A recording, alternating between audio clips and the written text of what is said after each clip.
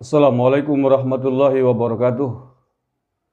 Saudara-saudaraku sebangsa setanah air yang saya cintai saya banggakan. Saya mendapatkan kiriman video. Isinya Roy Gerung sedang dalam satu acara atau acara apa ini. Yang isinya menurut saya sangat mengerikan. Sadis. Dan tidak tahu ini kalau ceramah begini dibiarkan, hancur negara kita loh. Serius.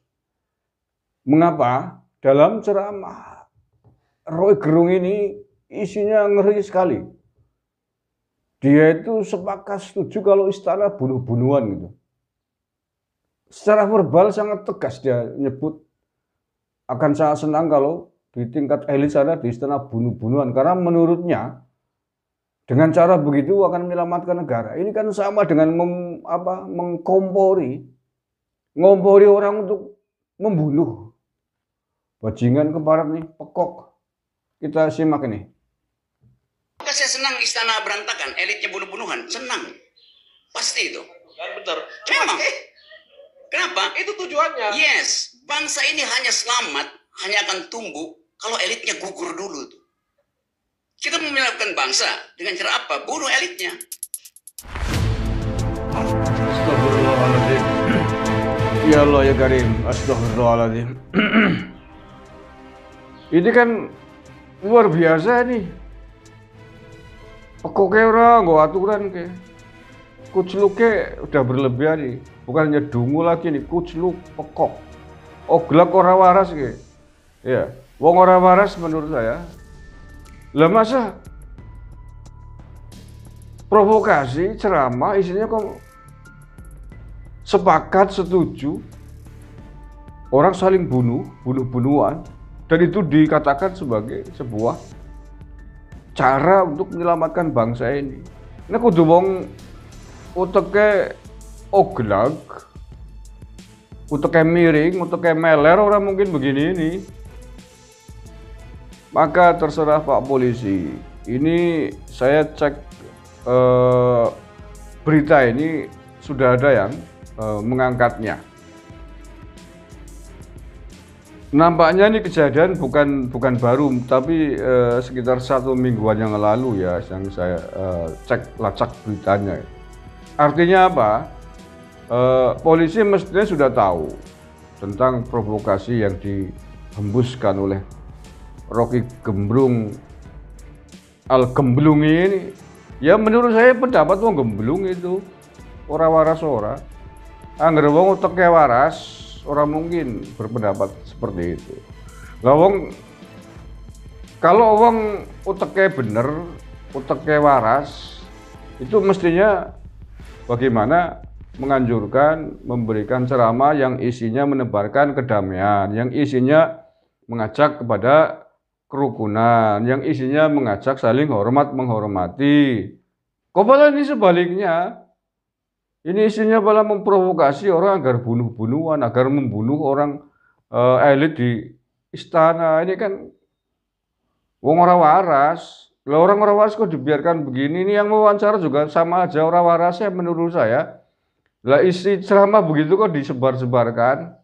Isi ceramah begini kok disiar-siarkan pada orang warasnya menurut saya sama aja tidak waras, sama aja oglaknya, oklaknya, koplaknya.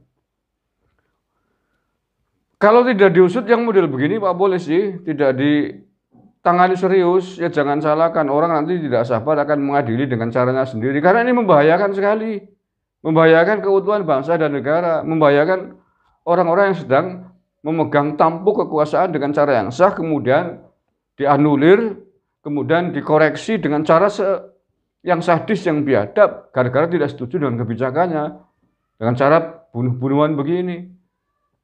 Astagfirullahaladzim. Saya tidak tahu sumber aslinya dari mana, tapi ini kalau video yang saya terima itu ada logo TikToknya, berarti dari TikTok ini. Mudah-mudahan Pak Polisi bisa mengusut ini dan janganlah, jangan dibiarkan model-model begini berbahaya sekali ini.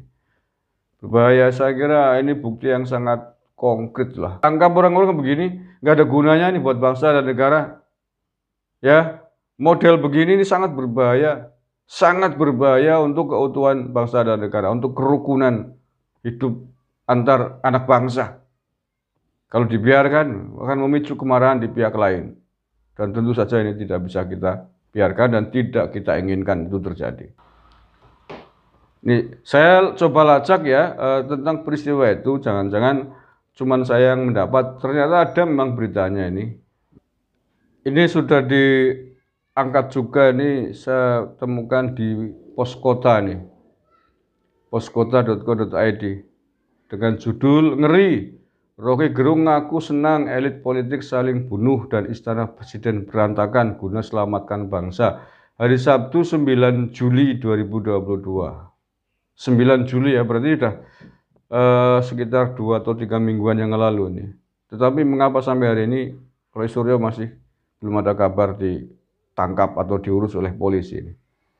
Jakarta Poskota.co.id Pengamat politik Roy Gerung mendoakan agar istana berantakan dan elit politik saling bunuh. Mengutip berita jakarta.poskota.co.id, Rocky juga berharap para elit politik bisa saling membunuh satu sama lain. Apakah saya senang istana berantakan elitnya bunuh-bunuhan? Senang, pasti itu. Katanya dalam potongan video yang diunggah akun YouTube Sumbawa Regency. Oh, sumbernya dari Sumbawa Regency. Silakan dicari sendiri. Gak tahu masih ada apa enggak. Bukan tanpa alasan, Rocky menyebut hal tersebut bisa berdampak buat bangsa ini. Bangsa ini hanya selamat, hanya akan tumbuh kalau elitnya gugur dulu sambungnya. Kita menyelamatkan bangsa dengan apa? Bunuh elitnya lanjutnya. Astagfirullahaladzim. Rocky menambahkan elitnya hanya elit yang bisa saling membunuh lantaran orang di luar elit akan bisa masuk ke lingkaran parlemen. Setiap orang tidak bisa berkompetisi karena elit ini pasang barrier to entry yang namanya threshold 20%, tegas Rocky.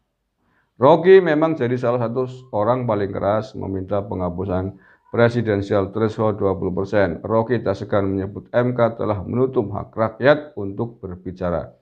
Padahal menurut Rocky, para penggugat hanya ingin diberikan kesempatan menyampaikan pikiran melalui gugatan PT 20%. Kayak itu yang saya baca di poskota.co.id edisi Sabtu 9 Juli 2022. Terima kasih. Sekali lagi polisi mohon deh diserusi orang-orang begini sangat berbahaya nih. Orang-orang garis keras mendengar begini ya kayak dikasih kompor, kayak dikasih bensin. Bangsa dan negara menjadi taruhan kalau orang model begini dibiarkan. Terima kasih. Ila bila taufiq Assalamualaikum warahmatullahi wabarakatuh. NKRI harga mati.